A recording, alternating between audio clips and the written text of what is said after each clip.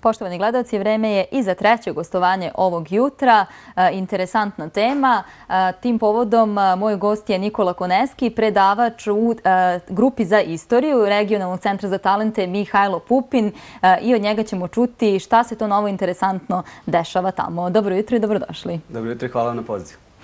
Kako je za vas protekla ova godina, kakav je početak sada i šta je to novo u odnosu na onu prethodnu? Ajde da krenemo od toga. Moram da kažem da je prethodna školska godina zaista bila istorijska školska godina, da je ne nazovemo vanrednom, možda podsjeća na onu školsku godinu e, kada je bilo bombardovanje 99. Iako ja tada, naravno, nisam radio kao nastavnik, ali sam mnogo čitao o tom periodu i zaista nekako sam se pronašao, da tako kažemo, u prošloj školskoj godini. Po svemu je bila vanredna. Međutim, jedan, jedan, jedan fenomen se dogodi ove školske godine, a to je neki bum e, po broju učenika u, u našoj grupi. Da li upravo zbog te e, lošije prethodne školske godine, zbog, zbog zbog svega što se dešavalo, ove godine imamo zaista rekordan broj prijavljenih u grupi za istoriju. Imamo oko 50 učenika u tri grupe, da tako kažemo, u tri odeljenja. Za šestake radimo po specijalnom programu, za sedmi i osmi razred to je jedno odeljenje i za srednje školce to je drugo odeljenje. Pazite, 50 učenika i malo više u grupi za istoriju. Ja ću biti slobodna da kažem da je i televizija Pančevo imala svog udela u promociji grupe za istoriju. ja, mislim da jeste, zaista. Mada ovaj, mislim da nije samo ovaj, reč o promovisanju, nego i zaista dobra komunikacija ove godine moja sa, sa kolegama nastavnicima. Mislim da sam kontaktirao skoro svakog nastavnika, skoro svaku nastavnicu. Postavim plan i program. Ove godine sam sastavio u pisanom obliku plan i program. Dakle, šta radim, zašto radim, zašto je to važno. Da, o, sa detaljnim objašnjenjima, da ne moram sada da telefoniram svakog pojedinča pa da objašnjam po sat vremena i opet to ne bi bilo dovoljno. Ovde sam dakle detaljno objasnio zašto, šta je zapravo grupa za istoriju. Onda su oni to slali učenicima, pa se učenicima to dopalo ili nije dopalo, pa su učenici pratili tako i medije, pratili naše društvene mreže, videli kako to izgledi na fotografijama i verovatno ih je sve to privuklo evo ove godine našoj grupi. Samo u grupi za 7. i 8. razred u tom odeljenju imamo 29 učenika. Iako, e, kada sam bio prošli put ovde kod vas, Rekao sam da ne primam više od 15 učenika. I zaista sa takom, eh, takvim stavom sam počeo i ovu školsku godinu. Međutim, kada mi je na upisu došlo preko 30 učenika, razmišljao sam kako sada da ne primim 15 učenika, da li odmah da sprovedem test, ja sam spremio inicijalni test, ali kako sada 15 eliminisati, nekako bilo mi je žao, s jedne strane bi bilo i neprijatno, s druge strane nisam ih hteo. A još ti rekli ovde da može da se prijavi svako, nevezano da li ima peticu iz istorije ili trojku, rekli ste da može svako. Tako je, s tim što moram zaista da pohvalim kolege nastavnike ove godine. Dakle, ostalo je to da po programu, dakle, da primam učenike koje smo mi pozvali i one koji imaju preporuku. Također mogli su da dođu i oni sa strane, međutim ove godine nismo imali takve. E njima bi dali e, test. Za svaki slučaj kao neka vrsta provere zaštitnog zida, da tako kažemo. Međutim, svi učenici su nam došli ili po pozivu ili po preporukama nastavnika. I zaista preporuke nastavnika su ove godine zaista bile kvalitetne, za razliku od možda prethodnih školskih godina, kada su preporuke više bile, kako da kažemo, žao mi je bio učenik, učenik voli istoriju, pa nije baš najbolje u tome, ne snalazi se baš naj, pa nema veze, neki ide kod Nikola da proba.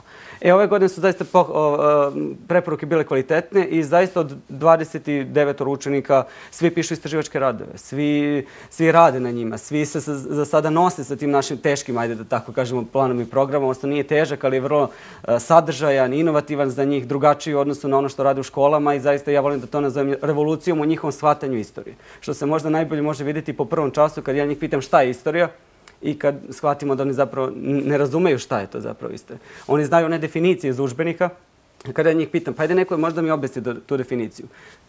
Niko ne može da, da mi objasni. Dakle, svi zastanu u razumevanju. Svi znaju, ali razumevanje je problem. A upravo kod nas u Centru za talente mi radimo razumevanje. I onda njima to već novina kad im ja dam tamo neke mentalne mape, kad ih stalno pitam, a zašto?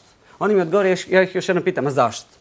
To je za njih prosto jedna novina, nešto, malo mi je čudno, možda u početku i nelagodno, ali vidim da su svi prebrodili tu, ajde da tako kažem, taj, eh, tu tranziciju i već su sada, kao da su kod mene već pet godina. Tako se već i obhode, već znaju i šta je metodologija, već kad kažem e, istraživački rad, već se zna na koji, na koji rad mislimo. Kad kažem istraživanje, već se zna šta se po tim podrazumeva. Literatura, znam da obično učenici ne znaju šta znači reći literatura. Ja u početku namjerno koristim malo literatura, malo knjiga. Međutim, sad sam potpuno izbacio reč knjigu iz e, vokabulara. Ja im i u porukama govorim, pronalazite literaturu sada. Dakle, u početku taj period tranzicije malo koristimo dvojnost, dvojnost termina, dvojnost, aha, malo potenciramo i znanje, malo razumevanje. E, od već od narednog, naredne subote mi prelazimo potpuno na razumevanje. I već se prilagode prosto. Mi, pazite, radimo četiri školska časa e, tokom subote, dakle to je oko tri sata. Za tri sata može mnogo stvari da se uradi i e, ja već šest godina radim u centru. Tako sam sastavio plan i program da u ta tri sata stane e, dovoljno predavanja i dovoljno vežbi da oni mogu ne samo da, eh, da slušaju to, da prate da, nego, i da zapamte, nego i da razumeju. E onda kada razumeju kroz te vežbice, to onda ostaje trajnije njima u sećanju i onda mi možemo da nadograđujemo to razumevanje. A ako se razumevanje odmah izgubi u moru informacija na prvom času, mi na drugom času nećemo ništa postići. Nadograđivaćemo nešto što ne postoji.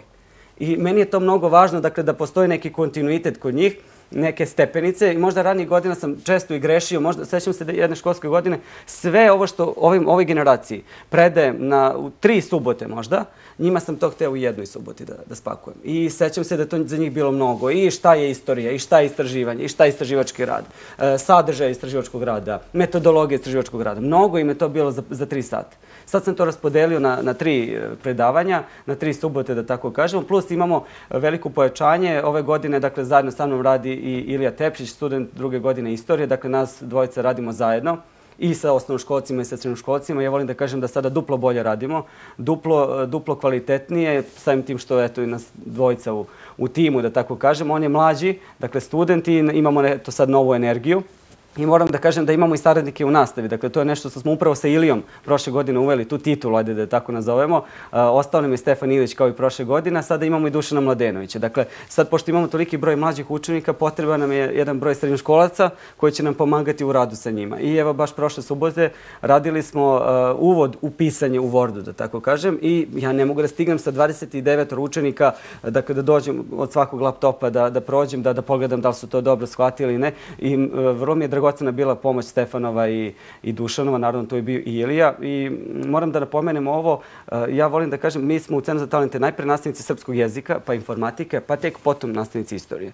Dakle, imamo tu puno u početku problema sa tim eh, kucanjem u Wordu, pa gde se nalazi fusnota, kako da u programu Wordu eh, nađu fusnotu, pa šta su to margine, pa razmak posle zareze i tačke. Tako da tu malo i nas to gnjavi u početku, ali smo svesni da moramo to da, da pređemo i da pomognemo učenicima, umjesto da ih samo pustimo i kažemo pa snađite se sami. I onda nam šalju radove bez fusnota sa rošim marginama i onda smo odlučili da organizujemo tako te male vežbice, male radionice, da sve, svi pređu to da, da nauče i onda će i nama biti lakše i njima. Dakle, to je neko moje geslo zbog kojeg mi se možda ponekad kolege smeju, ali to je da e, i meni bude lakše kao nastavniku i mentoru i lepše, a onda će biti i učenicima lakše i lepše. Dakle, ako se ja ne zatrpam sa slovnim greškama, to će i za njih biti korisno. Moći ću da se fokusiram na glavne delove njihove, njihovih tema osim što oni uče, oni konstantno uče i kroz neku zabavu jer se trudite da, da znanje na zabavan način prenesete. Šta je to sve zanimljivo bilo od početka godine i kakvi su planovi za dalje? Tako je, dakle, mi na, na samim časovima volim da bude i opuštena atmosfera i tako dalje, ali sam posebno ponosan na one van nastavne aktivnosti, ako tako možemo da kažemo, jer istorija, ako se radi samo u učionici, to vam je kao kada se eksperimenti rade samo u laboratoriji. Oni imaju nekog smisla u laboratoriji, ali oni se ne rade samo zbog laboratorije, već zbog neke praktične primene. E, isto ja volim da kažem da je, da isti slučaj i sa istorijom. Ove godine moram da se pohvalim da e, je moja metodologija rada naišla na odzivi kod kolega. Evo, imali smo pre neki dan sam gostao u grupi za matematiku, gde sam ko, e, sa koleginicom Marijom Mihajlov, dakle u saradnji, pričao o matematičarima šta je tu istraživanje istraživačkog rada. Sad će neko reći kako on istoričar priča o matematičarima. Suština istraživanja istraživačkog rada se ne razlikuje toliko. Metodologija se samo razlikuje. Način istraživanja. Tako da vidim da su me pomno slušali i da su, mislim da su bili zadovoljni. Dakle, da sam uneo jednu novu novi pogled, ajde da tako kažem, novu boju u razumevanju matematike i uopšte istraživanja. Onda gostovao sam u Crepaju u osnovnoj školi Sava Žebeljan u saradnji sa mojim koleginicom Zuzanom Kutalek. Dakle, osnovali smo, to smo već pričali, jednu ekspozituru, odnosno istorijno odeljenje u Kovačici. Mada ja volim da kažem da je to sada poseban centar za talente i između ostalog postoji grupa za istoriju, vodi upravo koleginica Zuzana. I e, moja želja da postaknem istraživački duh u Kovačici je upravo e, dakle, odraz te želje je moje predavanje davanje u, u Crepa i osjećamo se već sada kao da smo mi u Pančevu jedan rasadnik te ideje e, širenja, e, ideje istraživanja i istraživačkog rada. Dakle, ne samo učenja, nego i istraživanja. I u, Kova, i u Crepa i dakle, zaista su me lepo dočekali, moram da, e, da ih pohvalim i zaista je bilo interesantno i nadam se da će sada kolegnica Zuzana da nastavlja u tom pravcu. Ja, ja verujem zaista u nju i dolazit ću ponovo, održavat ću često kontakte sa njima dok se ta, taj rasad ne primi, da tako kažemo, dok ne vidimo plodove, da, dok ne vidimo da cveta i nadam se posle da će isti slučaj biti i sa kovinom i sa vršcem i tako dalje. Dakle, potrebno je samo da u tim, e, u tim sredinama pronađem bar jednu osobu zainteresovano i u koju mogu da verujem, da tako kažem, i odmah da stupimo u komunikaciju, saradnju i da se širi ta ideja. Prosto, pazite, mi imamo centar za talente u, u Kikindi. Kikinda i Pančevo. A sve između toga je prazno, da tako kažemo. Dakle, sad to treba popuniti pa posle ići dalje na, na Bačku, Srem i tako dalje. Dakle, to je ideja da se što više proširi, a zaista mi u Pančevu se posmatramo kao neki epicentar tog zemljetrca. Evo, koleginica iz, iz Vranja me je zvala pre par meseci, jao, jel možete da mi pošaljete vaš plan i program uh, ili, ne znam, za potragu za blagom? Oni su teli, to teli da organizuju kod njih za dan uh, mladih i, za, i organizovali su. Dakle, Moramo da objasnimo samo gledalcima koji možda ne znaju šta je u stvari potraga za blagom. Da, potraga za blagom, to smo organizovali organizovali, ovaj, doduše na samom kraju prošle školske godine. To je jedna terenska aktivnost gde su učenici, e, rešavajući određene zagonetke koje se, koje se im sastavio, e, pravili jedan oblik po gradu, da tako kažemo, i onda im je taj oblik, odnosno u pitanju je bila osmica, broj osam, taj broj im je pomogao da u muzeju pronađu finalni e, predmet, odnosno zastavu Srpskog vojvodstva iz 1948. godine. Tako da to je jedna terenska aktivnost kroz koju uče o lokalnoj istoriji, o lokalnoj sredini, a kad sam već spomenuo lokalnu sredinu i lokalnu kulturu, upravo E, nešto glavno po tom pitanju što smo organizovali školske godine e, kviz Pan znanje, kviz do poznavanju pančevačke kulture u saradnji sa mojom e, prijateljicom i kolegnicom Vanjom Jekić. Zaista smo ponosni na, na to. Pisali smo projekat i dobili od strane grada Pančeva, dakle grad je finansirao. Eh, to je nešto na, o čemu razmišljamo godinama već, pa mogu da kažem čak i sedam godina da, da razmišljamo o tome i nekoliko inicijativa je bilo da se između ostali sa udruženjem Pansa i tako dalje, da, da se taj kviz eh, realizuje. Međutim, sedam godina je bilo potrebno dok sve to nije realizovao. I zaista smo eh, oduševljeni kako je to ispalo na kraju. Veliki broj ljudi smo uključili u, u različite... Ko je sve mogo da učestvuje? Dakle, srednjoškolci. Kviz je bio namenjen srednjoškolcima. Svi srednjoškolci su mogli da učestvuju i imali smo, ja mislim, oko 30 uh, ukupno učesnika.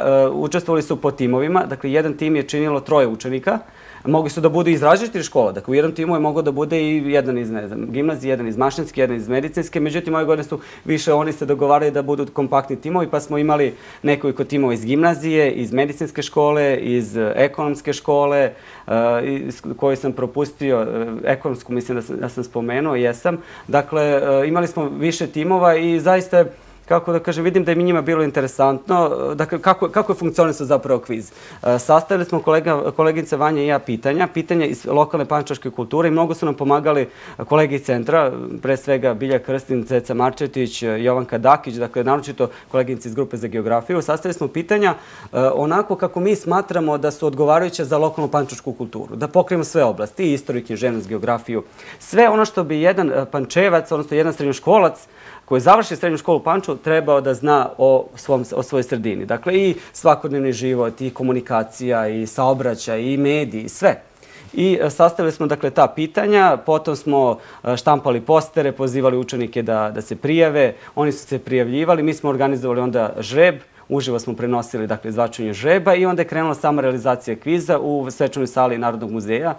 Narodni muzej nam je zaista mnogo pomogao i mnogo nas je podržao, naočito direktor Bircin, pa i kolega Damir Prašnikar nekako su, ja, mnogo je bitno da domaćin bude srdačan i da, kako da kažem, da vam ne stvara dodatne probleme kad vam već pomaže. Dakle, oni su nam bili partneri u projektu i zaista su nam u pravom smislu te reči bili partneri. I svečana sala, znate i sami, ona je baš odlično upriličena za, za kviz, za, pogotovo kviz ovakve vrste i uh, pro, mislim da smo odlično to organizovali. Moje, inače, zanimljivost, moje tri prijateljice sa fakulteta, doktorantkinje, uh, su vodile kviz, dakle, Sara Jerković, Tamara Kosir i Kristina Kojić. Zaista mislim da su i one doprinali da kviz bude sjajan. Ilija Tepšić, e, malo pripomenuti kolega u centru, je također bio tu e, da nam pripomogne u komisiji i e, imali smo publiku. Publika je, dakle, pratila kviz. Učenici su bili raspoređeni, dakle, po timovima. Mi smo im postavili pitanja, oni su na ta pitanja odgovarali. Imali smo najpre polufinalne emisije i onda pobjednici iz svake emisije su išli u finale i e, posle finala dakle, dobili smo prvu ekipu, drugu, treću. Dakle, pobedila je ekipa Matedo iz e, gimnazije Uroš Predić, ali ja zaista moram pokloniti sve ekipe. Mi smo procenjivali, malo smo se plašili kako će da se snađu sada učenici, budući da im nismo dali priručnik, Nismo namjerno teli da sastavimo neki priručnik, jer jedan od ciljeva je bio upravo i to, da oni uče kako da pronalaze relevantne podatke kako da se kritički odnose prema podacima i kako da odaberu onaj pravi podatak i gde da pronađu pravi podatak. I zaista nijedna ekipa nije imala nula bodova, baš naprotiv. Mislim da, je, da su svi imali preko 20 bodova, što je zaista odličan rezultat. I vidi se da su se i neki spremali sa nastavnicima i tako dalje. U mašinskoj školi su nas posle pitali da li bi oni mogli taj materijal koji su prikupljali da iskoriste pa da organizuju neki kviz unutar svoje škole. Mi smo neki, naravno, nismo mi izmislili toplu vodu. E, to jeste poenta kviza, dakle da se proširi ta ideja i da se istakne važnost lokalne kulture, pa da ostale škole i same rade na tome. A mi bismo bili kao neki centralni eto kviz. Moram samo da pitam nešto što sam pitala i vaše učenike, a to je da li postoji mogućnost da se taj kviz organizuje i za odrasle, pošto nekako mi kada završimo sa školom, mi nekako polako zaboravimo te godine koje su važne vremenom, pa da li postoji ta mogućnost da se organizuje i da svi građani Pančeva koji su zainteresovani dođu i učestvuju? Onako jedan veliki masovni kriz. Zanimljivo pitanje. Mi smo svakog planili da se proširimo. Najprej narode godine za osnovno školce, jer mnogo nastavnika, kolega nas je pitao ja, zašto niste za osnovno školce, to bi bilo sjajno. Tako da ja se nadam ako i naredne godine dobijemo podršku, da ćemo i za osnovno školce da organizujemo, a onda možda one tamo da otvorimo i tu treću vrstu što kažete za odrasle, mada odrasli mogu već i na ovaj način da se upoznaju sa lokalnom kulturom tako što će biti indirektni, da tako kažem, učesnici, da dolaze da slušaju i da prati. Imali smo ove godine takav slučaj.